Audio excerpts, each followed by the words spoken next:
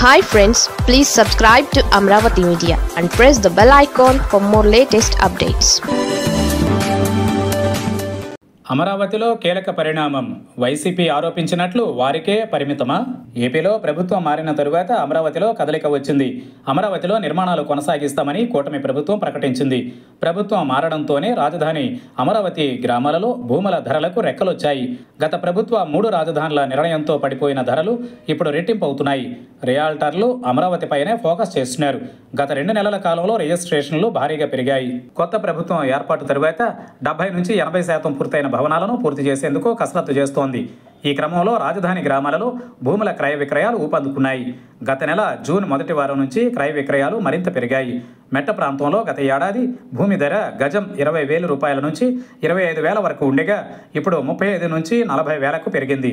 జరీబు గ్రామాలలో గత ఏడాది గజం ముప్పై వేల నుంచి ముప్పై ఐదు వేలు ఉండగా ఇప్పుడు ఏకంగా యాభై వేల నుంచి అరవై వేలకు చేరుకుంది. గత వారం రోజుల్లో గజం యాభై రెండు వేల నుంచి యాభై ఆరు వేల మధ్య రిజిస్ట్రేషన్లు జరిగాయి. తుళ్ళూరు సబ్ రిజిస్ట్రార్ కార్యాలయం పరిధిలో గత నెలలో రెండు వందల ఎనభై రిజిస్ట్రేషన్లు జరగగా ఈ నెలలో గడిచిన పది రోజుల్లోనే నూట ఎనిమిది రిజిస్ట్రేషన్లు జరిగాయి. ఏప్రిల్లో నూట తొంభై మేలో రెండు వందల ఇరవై ఒకటి రిజిస్ట్రేషన్లు జరిగినట్లు ప్రభుత్వ గణాంకాలు స్పష్టం చేస్తున్నాయి. రాజధాని గ్రామాలలో రెండు వేల పదిహేనులో అప్పటి టీడీపీ ప్రభుత్వం భూ సమీకరణ ద్వారా రైతుల నుంచి ముప్పై నాలుగు వేల ఏడు వందల డెబ్బై రెండు ఎకరాల భూమిని సమీకరించింది. రెండు వేల పంతొమ్మిదిలో రాష్ట్రంలో వైసీపీ అధికారంలోకి వచ్చింది. రెండు వేల పంతొమ్మిది డిసెంబర్ పదిహేడున అమరావతి రాజధాని స్థానంలో మూడు రాజధానులు ఏర్పాటు చేస్తున్నట్లు అప్పటి వైసీపీ ప్రభుత్వం ప్రకటించింది.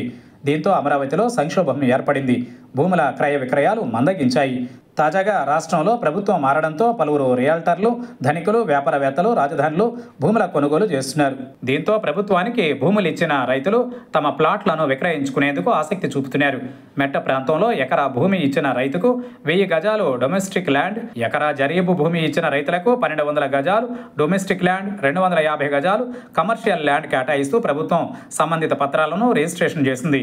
మొత్తం యాభై నాలుగు వేల ప్లాట్లు రైతులకు రిటర్నబుల్గా ఇచ్చింది. ప్రస్తుతం రైతులు వీటిని విక్రయిస్తున్నారు.